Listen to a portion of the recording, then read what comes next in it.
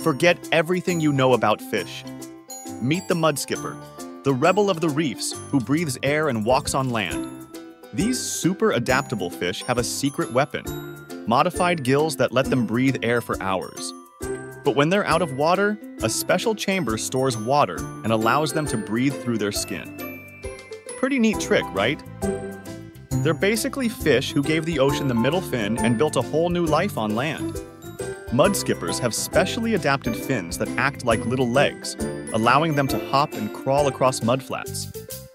Their bulging eyes sit on top of their heads, giving them a good view of their surroundings, even out of the water. And it gets crazier. Male mud skippers are like the swaggering cowboys of the swamp. They build mud burrows and defend their territory by flashing their colorful fins and puffing out their chests. These little rebels are a reminder that anything is possible, even for a fish who dreams of walking on land.